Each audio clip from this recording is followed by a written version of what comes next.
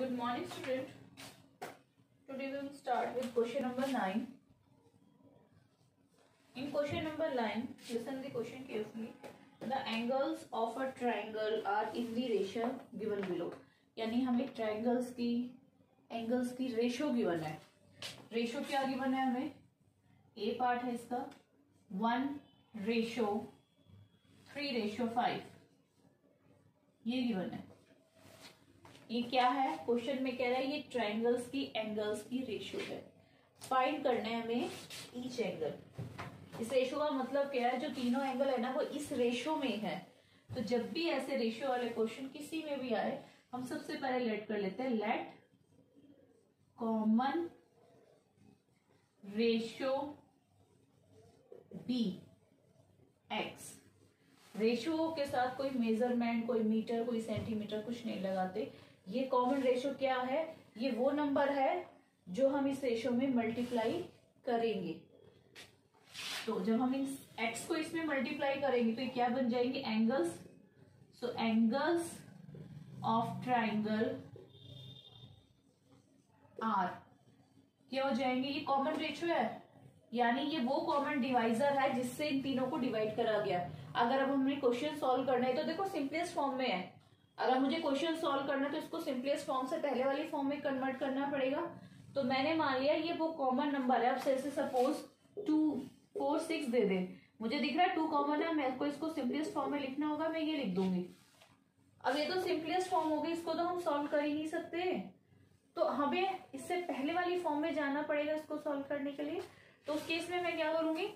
ये जो टू मैंने निकाला है ना, इस टू को इसमें मल्टीप्लाई कर दिया। तो वापस क्या आएगा? टू, फोर सिक्स ठीक है? तो ये जो टू करा है ना मैंने मल्टीप्लाई अब यहाँ पर ये टू क्या है? एक्स मुझे नहीं पता इसमें से कौन सा नंबर इन्होंने as a common divisor cut करा है।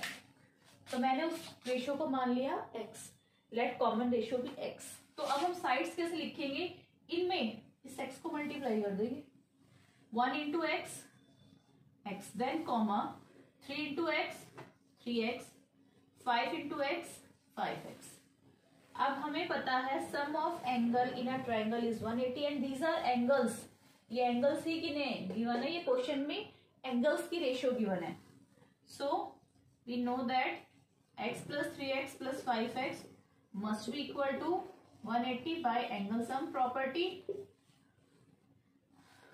1 3 4 plus 5 9x is equal to 180 x equal to one 180 upon 9 that means 20 ये x क्या है हमारे? X वो कॉमन रेशियो आई है।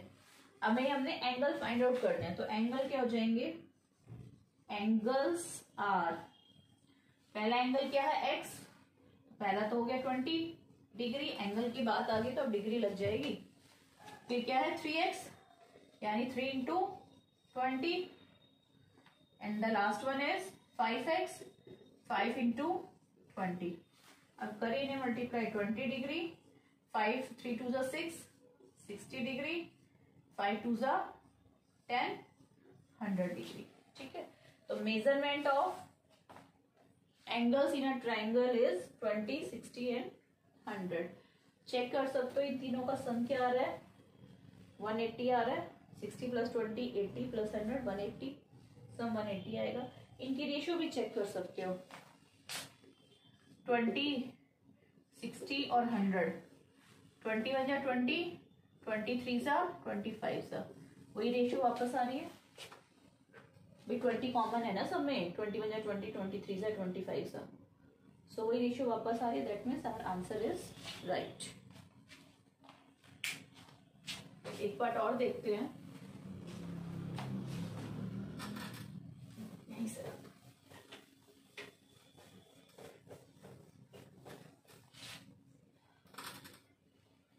इसमें गिवन है एक पार्ट और देखते हैं. This is the one one one one one one ये गिवन है. अब मान लेते हैं कॉमन रेशियो एक्स है. तो एंगल्स क्या हो जाएँगे? Angles are x comma x comma x So by angle sum property, sum of these angle must be 180 by ASP. Angle sum property of triangle x plus x plus x. 3x equal to 180. x equal to 180 upon 3. 60. ठीक है अब x जो common ratio है angles भी same ही है x ही है तो एंगल्स आर एंगल्स लिख रहे हैं तो विद उसकी मेज़रमेंट लिखेंगे 60 degree 60 degree and 60 degree so angle of all angles of this given ratio is 60 60 degree. That means this is the equilateral triangle